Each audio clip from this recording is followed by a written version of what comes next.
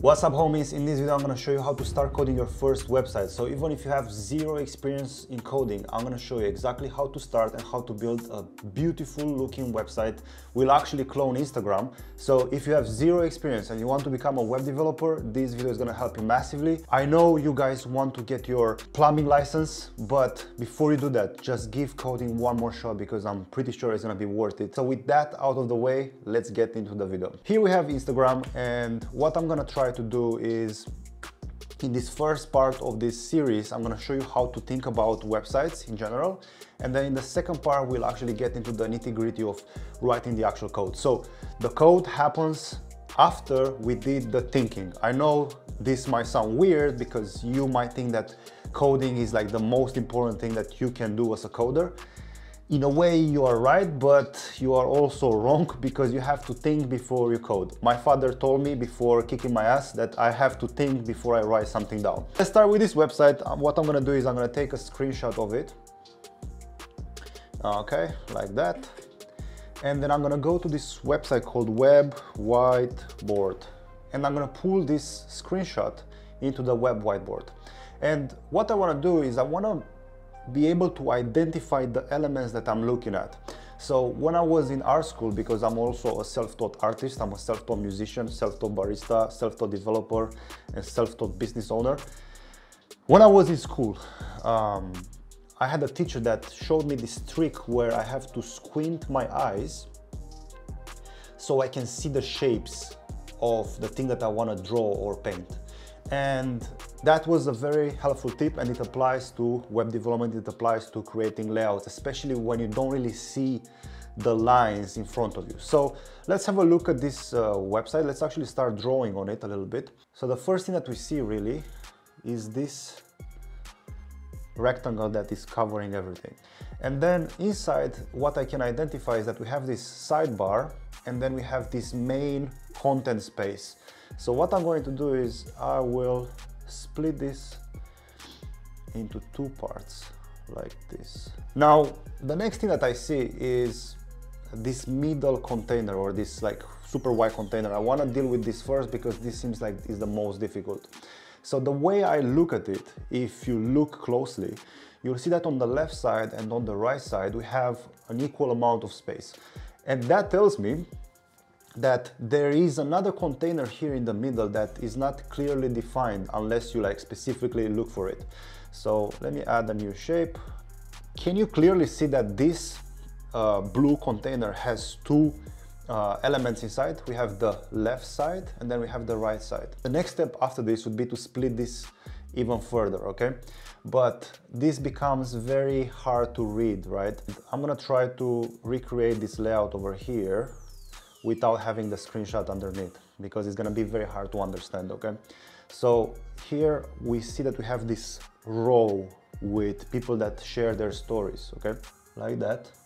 So these are our stories. And then we have the post container, as you can see over here. So let's try to do that. Now, the next step after this would be to create each person that created a story. So let's try to do that. All right, that's that. We forgot to put the text and whatnot, but again, I'm just trying to show you how to think about this stuff so you can actually start building this by yourself, okay? Now, the next thing would be to create a post. So let's try to make a post. As you can see here, we have uh, this container and this container is split into one, two, and three sections. So let's try to do that. Maybe I'm not gonna get into like super ultra detail because um, these shapes are too thick for, for the screen, but I hope you'll understand the point that I'm trying to make because that's kind of the most important thing, right? So let's make this post uh, a bit taller just so we can have something to work with. And let's make it red, okay? And then here at the top we have the place where we would place the text. So let's just do that, boom, great. Let's make this uh, light gray you cannot see it, but I hope you can believe me that it's there. Then we have the actual picture like that. And then underneath we have a description with uh, some actions and whatnot. So let's try to do that real quick, right?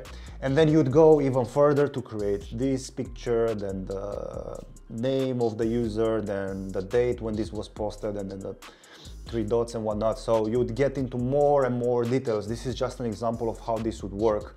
Now let's actually do this sidebar here. Let's make this a bit uh, thinner like this. So we have a bit more space. Then we would have a user inside and then we can see that my username and my name, they're on top of each other. And that tells me that these are, because of my experience, of course, that tells me that these things are stuck together like this, right? And then inside I have another two elements. This would be the username. Underneath I would have the actual name of the user, if that makes sense. Great. And then I would have some text. So let's just put a button in there like this. All right. So now I would have this element created. Let's just duplicate it a few times zoom in probably. I, I, guess, oh yeah, that would be a great idea. So we can zoom in and we can add more details and whatnot. The main point of this exercise is to start observing, not just seeing, right? Because what you want to do is be able to see the matrix because there's always a matrix. There's always something that is hidden, okay? Unless you know uh, the thing that you are looking after, unless you have some experience. So here's my challenge for you. If you are if you've been watching this video until now, you should understand how this exercise works, okay? So what I want you to do is find the website, a website that you're using on a day-to-day -day basis, and I want you to go to this website called webwhiteboard.com, and I want you to practice this exercise, okay? And I want you to see you that you are actually building these layouts, even though you're not writing any code whatsoever right now, okay? Do that, and if this video gets 100 likes, I'm gonna make part two where I'm gonna show you how I would build this with HTML and CSS so you can actually start building websites. Then you can go into freelancing if you want that. I don't really recommend it because I think in my opinion you should learn how to code to get a job but if you want to start freelancing this would be a great place to start building layouts building websites it's gonna work really well if you start working on this exercise okay? It's a skill. You can learn any skill. You can learn anything. Given enough time and practice. All right if you want me to help you with learning how to code uh, then apply for my mentorship program. The link is in the description. Then the second link in the description should show you how my program looks like. You can check out the community live calls. There are a few free courses over there. And in the third link there is a roadmap that you can follow which is going to help you you know, build some projects, build some skills, and then at some point you'll get hired. All right, peace out.